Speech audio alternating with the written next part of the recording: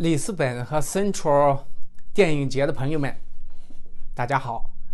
非常感谢呢，你们今年把第十三届这个抗争奖颁给我，我非常荣幸得到这个奖。由于我的护照在我去这个巴塞罗那支持香港的时候被中共派人抢走了，所以呢，这次我没有办法。自己到这个里斯本去领奖，啊，所以呢也非常感谢黄把这个奖给我送过来，呃，我们见面交流。那么在这里呢，我向咱们电影节的朋友们特别感谢，还有来参加电影节的各界朋友们，我今天就想跟大家说啊，这个抗争作为这个弱者向强者说不的一种另一种说法。或者说，抗争一般来说都是这个弱者向强者反抗。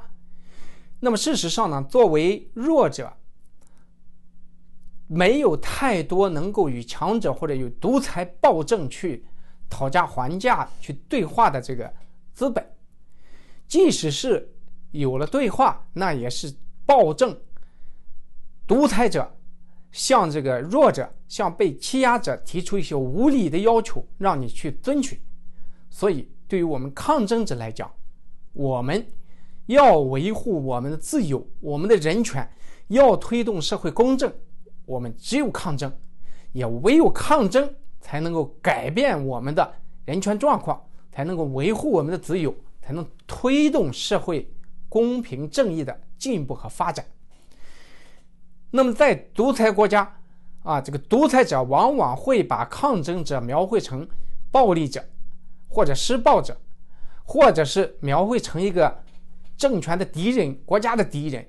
但事实上，作为弱者，通过抗争不得已，啊，来维护自身的权利，那他既不等同于与这个国家作对。也不等同于与政府作对，那反对一个专制暴政，特别是反对一个专制独裁党，完全不等于反对政府，更不等于反对这个国家，更跟分裂国家或者颠覆国家都没有任何关系。那么，人民天然就具有颠覆专制暴政这个权利，这是人民正当防卫的权利。那么，在人民的经济。财产和身体等人权状况受到迫害的时候，人民有行使正当防卫的权利，这是符合国际法的。所以，我觉得对抗争来讲，是每一个个体天然就具有的权利。那么，今年是抗争年。大家可以看到啊，发生在南美洲的巴西以及法国、非洲等各国家发生的各种各样的抗议事件此起彼伏。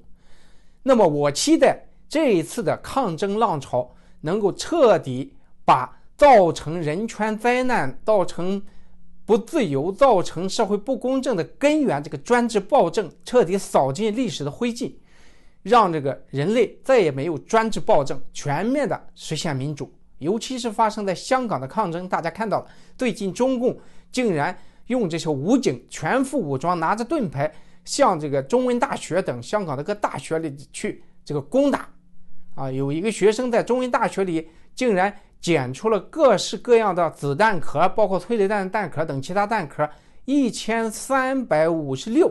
大家想想，人类历史上有哪一个政权会对一个大学采取这样的攻势？从来没有过的。所以，面对共产暴政，我们必须携起手来，将它彻底砸烂，扫进历史的灰烬。这是人民的权利。使用武力对付暴政，这不是暴力。所以，即使在民主国家，我想民主制度也不是一个百分之一百完美的制度，它也是需要发展、进步、完善的。那么，需要让这个制度更公正，那是从。独裁到民主的这样一个艰难的过程，即使实现了民主，那让这个社民主国家的法律更趋文明、更趋社会公正、更合理，那也需要大家去走上街头去抗争、去努力。